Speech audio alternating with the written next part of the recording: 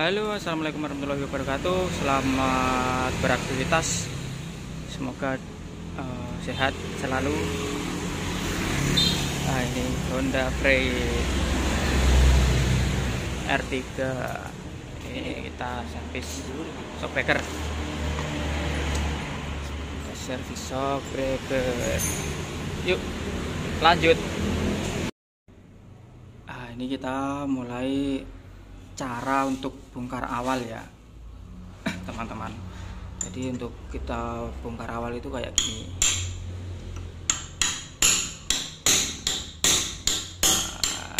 Pelan-pelan.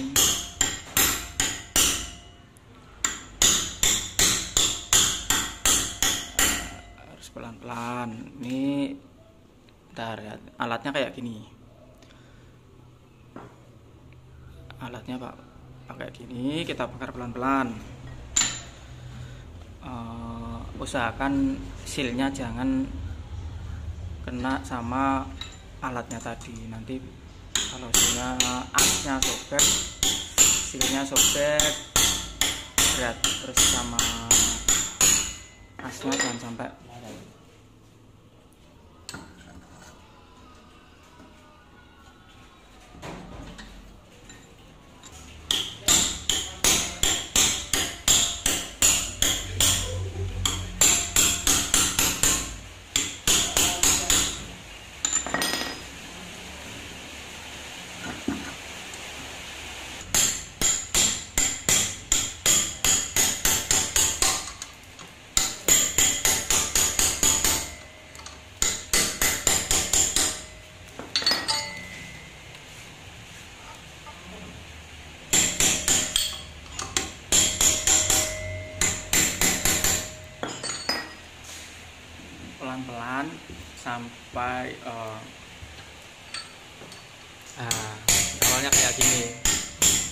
harus uh, buka dulu pelan-pelan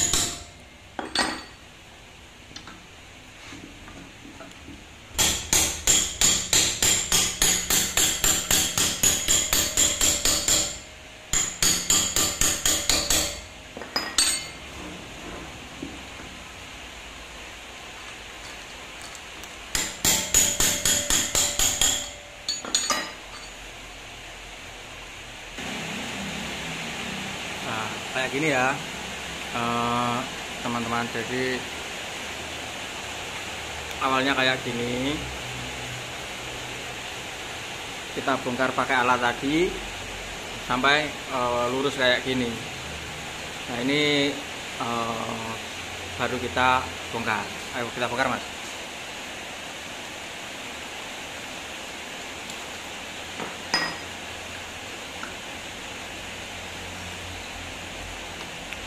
Nah ini tadi kan shockbreakernya nggak bocor jadi hasilnya ini nggak perlu ganti. Kecuali kalau shockbreakernya bocor itu silnya harus kita ganti. Soalnya ini sil ori biasanya lebih awet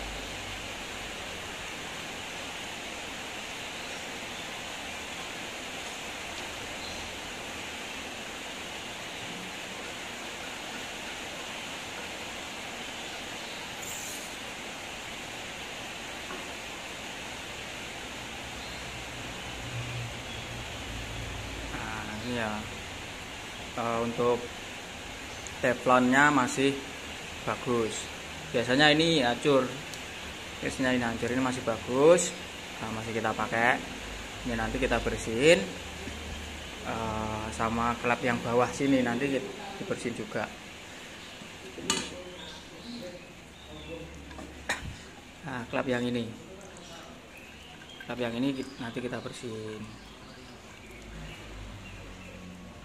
sama olinya nanti kita ganti untuk yang lebih kental lagi untuk hidrolisnya itu jadi nanti lebih ada tekanan lebih enak.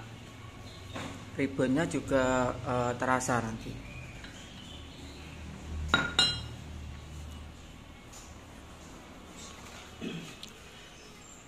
Ini posisi udah kita bongkar ini masih belum kita pegang sama sekali.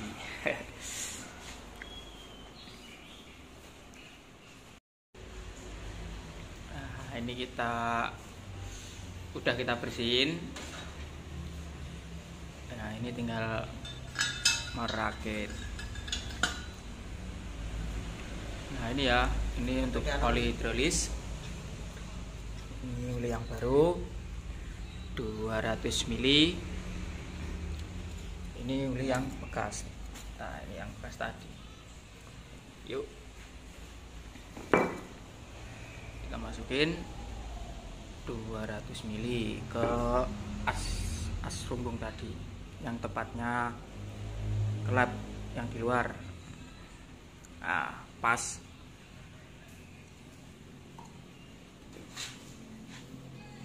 kita masukin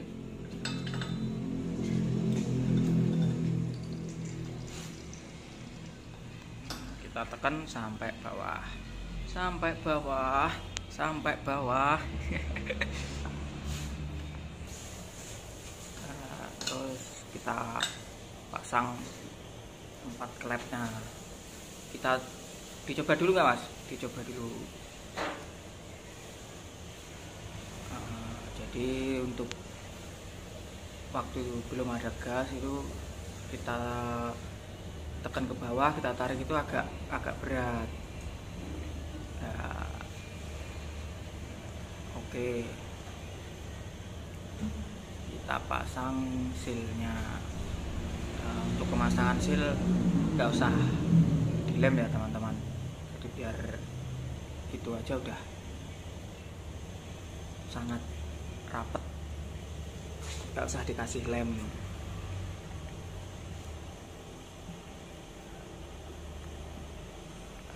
Ini tinggal kita lempit. Eh mas ini di sini apa mas? Melipat. ngelipat. Tinggal kita ngelipat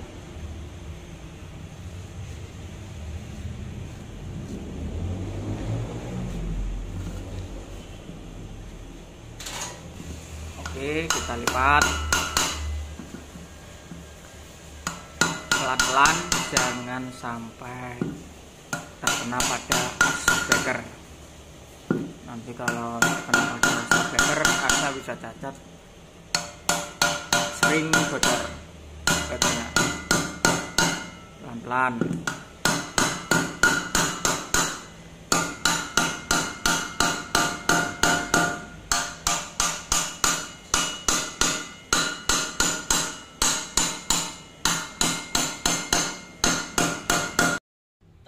Ah, oke. Ini udah dilipat. Kayak gini ya. Ini tinggal kita isi gas. Ini yang belum kita bongkar. Ini udah kita bongkar. Ah, oke, ini kita proses pengisian gas.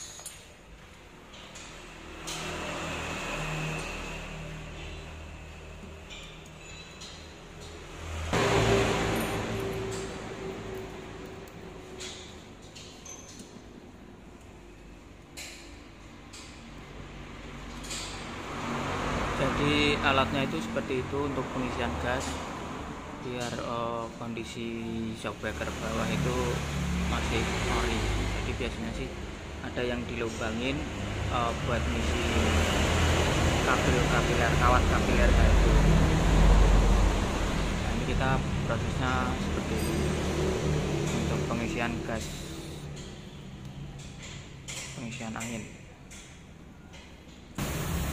Nah, untuk pengisian gas seperti ini ya.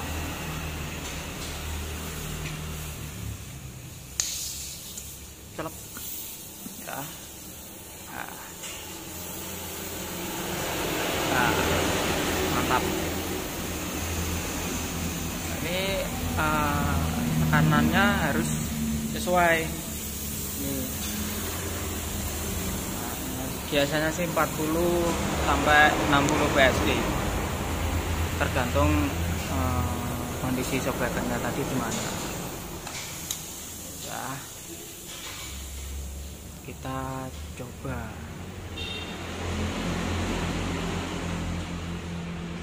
Set. ah oke okay ya. Mantap. Jadi kita tekan naiknya juga harus pelan nggak boleh cepat kalau cepat ya nanti percuma nanti waktu di polisi tidur waktu ayunan eh, ke atasnya sekok itu cepat ya nggak enak. Ini kan eh, kita tekan. Pelan naiknya juga pelan. Oke mantap. Nah ini video selanjutnya yang servis shockbreaker Honda Fit tadi ya. Nah, ini kita tes jalan. Keluhan untuk customer yang punya mobil ini kayak sekok shockbreaker mati jadi nggak nggak bisa rebound shocknya keras. Ini kita mau coba jalan dulu mantap mobilnya masih enak ini mobilnya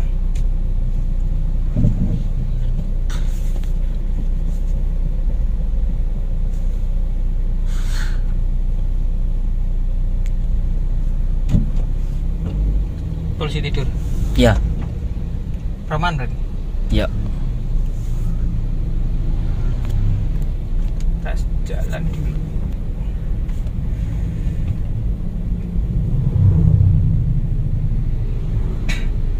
Kalau untuk kaki-kaki mobil ini nggak ada masalah sih.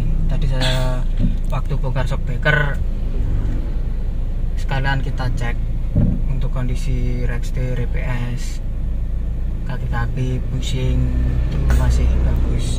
Dan engine mounting kanan tadi kayaknya habis diganti sama yang punya ini. Next time support support shockbreaker support shockbreakernya tadi udah waktunya ganti. Tapi kan kalau untuk support dipakai dulu nggak masalah. Jadi yang penting shocknya udah bener untuk shock supportnya dipakai nggak masalah. Tapi kalau supportnya diganti shockbreakernya masih kayak tadi ya nggak bisa awet untuk support. Ini kan kalau shockbreakernya udah dibenerin enak supportnya kayak gitu apa udah ambles waktunya ganti tapi nggak diganti ya untuk shockbreakernya ya nggak masalah tetap enak tapi lebih baiknya lebih senyap lagi kalau support shocknya diganti. Mantap. Ini kita mau coba dulu ke perumahan. Cari polisi tidur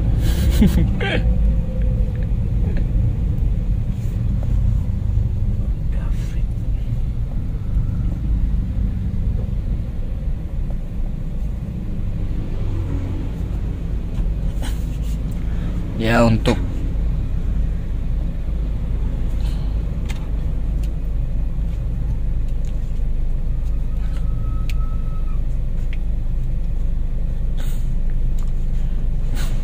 Ya untuk yang mau konsultasi dulu cek nanti saya share ya untuk eh, nomor atau tempat juga berada di mana nanti kita share.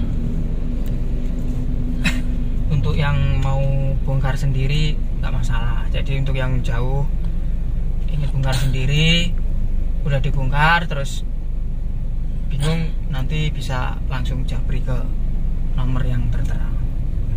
Bisa konsultasi dulu ya Mas ya. untuk eh, yang mau Mas ini tolong dicekin saya udah saya cek ternyata penyakitnya shockbreaker ini penyakitnya shockbreaker mas. Terus, nanti saya mau bongkar sendiri mas di rumah. Boleh. Nanti kalau udah dibongkar di rumah mau tanya-tanya bisa langsung di WhatsApp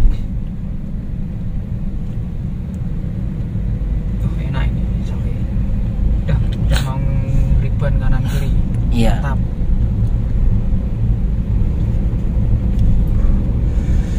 posisi mobil ini ceper ya teman-teman ini udah diceper sama yang punya Tapi dipres. Ya, Dipres, Mas. untuk posisi pernya dipres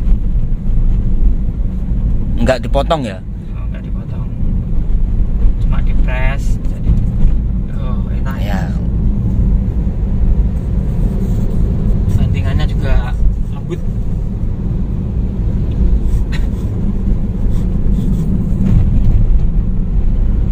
Eh, mantap ini Duduk nih boleh nih gini. Wis gak sih. Ini enak ya umum enak ini lebih enak lagi supportnya diganti support diganti Ori apa KW? ya ori lah untuk kalau Honda itu kita saranin yang ori soalnya karet kalau Honda itu eh, Honda Fit Mobilio Sekalian ya, Mas ya. eh, itu supportnya itu karet jadi kalau yang KW itu biasanya sih karetnya keras tapi kalau support yang ori kelenturan karetnya bagus Nah, ini polisi tidur. Kita coba dulu. Tuh. Jadi di Jalan Keriting tadi gredek gredek. Ah, enak ya.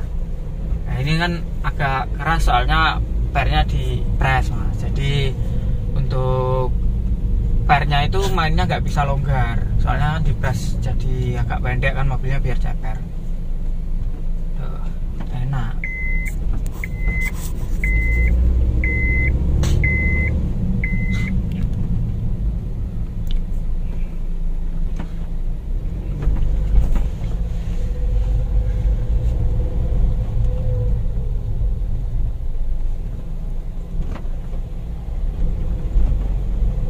Senyap.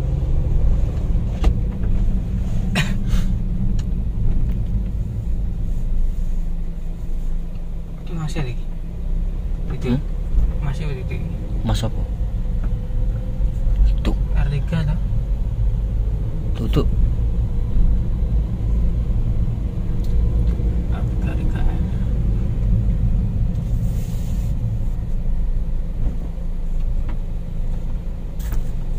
Pare. Oke, penutupan bul. ah, masuk ini udah saya coba udah enak. Udah tinggal kasih yang customer saya.